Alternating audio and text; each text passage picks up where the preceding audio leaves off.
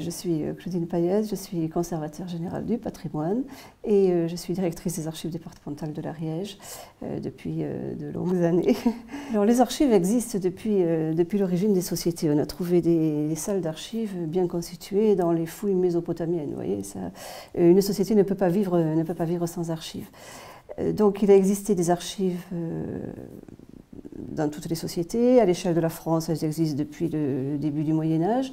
Et les archives départementales telles que nous les connaissons aujourd'hui ont été créées en 1795. Et donc elles existent dans tous les départements de France depuis cette date.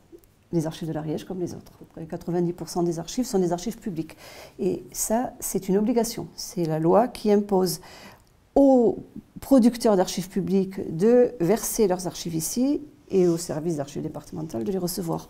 Alors les archives publiques, ce sont les archives de l'État, euh, y compris les archives des administrations déconcentrées de l'État, comme la préfecture, les, euh, les, administrations chargées de l'équipement, de l'agriculture, bon, de la population, euh, les tribunaux. Les particuliers ont des archives aussi, que ce soit des archives de famille, des archives d'entreprise, des archives d'associations, des archives de chercheurs.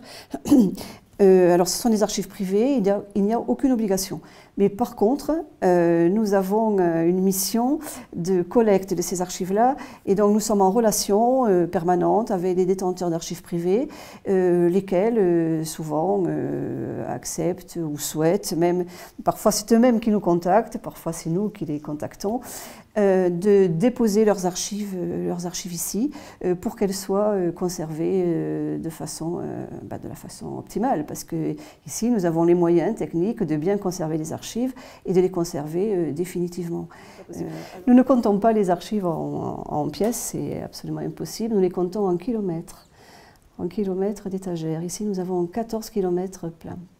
Alors les archives sont conservées dans des grandes pièces qu'on appelle des magasins, des magasins d'archives, sur des rayonnages avec des tablettes. Et euh, donc les, toutes les tablettes sont, numérotées et les boîtes qui sont sur les tablettes le sont aussi, ce qui fait que nous retrouvons très facilement euh, tous les documents qui nous, sont demandés. Actuellement, tout cela est informatisé, mais avant, ça ne l'était pas et on le trouvait quand même. Hein, euh, et euh, donc, il faut venir dans la salle de lecture, demander un document et une personne va vous le porter. Alors les archives sont ouvertes à tout le monde, c'est un droit du citoyen. Euh, cela a été proclamé euh, à l'époque révolutionnaire. Je vous dis que les archives départementales avaient été créées en 1795, mais les archives nationales ont été en 1789, c'est-à-dire au tout début de la Révolution. Et très vite, on a, euh, on a dit que les archives étaient ouvertes aux citoyens. C'est un élément de la démocratie. Alors les personnes viennent ici pour différentes raisons. elles, certains assez nombreux viennent ici pour des raisons administratives, c'est-à-dire pour euh, venir pour trouver la justification d'un droit. Euh, donc, ils cherchent dans les archives du, cadastre, dans les archives du tribunal, dans les, enfin des tribunaux, dans les archives des notaires, une preuve de propriété. Et puis ensuite, il y a les recherches euh, personnelles, qui sont des recherches euh, en général tournées vers l'histoire. Alors que ce soit l'histoire un peu générale, ça c'est le, domaine des chercheurs, des étudiants, ou des, chercheurs aussi qui ne sont pas du tout professionnels. Hein. Tout le monde peut venir faire une recherche historique ici. Et puis il y a aussi la recherche personnelle, alors qui est euh, la recherche généalogique, c'est-à-dire retrouver l'histoire de votre famille. ils ne sont pas gardés à vie, mais par contre, ce n'est pas l'ancienneté qui est un critère d'élimination. Au contraire, on va garder bien plus précieusement les documents les plus anciens. les documents euh, récents font l'objet de tri, ce qu'on appelle des tris des tris qui sont très contrôlés par une réglementation nationale. Hein.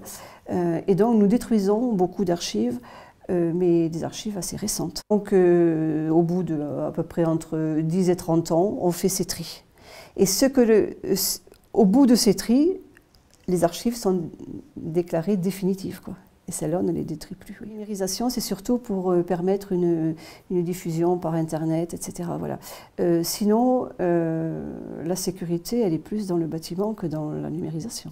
Lorsqu'on numérise, on ne communique plus que la copie numérique et nous ne sortons plus les originaux. Comme ça, ils sont mieux conservés. Euh, mais ce n'est surtout pas un moyen de, remplacer l'original. Euh, la dernière loi sur les archives euh, remonte à 2008, donc c'est assez récent, mais il y en avait d'autres avant, qui fixe le délai de communicabilité des archives. Alors, il y a des archives donc qui sont ici et qui ne sont pas encore communicables, ou parce qu'elles elles touchent la sûreté de l'État, par exemple les archives de police, les archives de préfecture, mais surtout parce qu'elles touchent la vie privée des gens.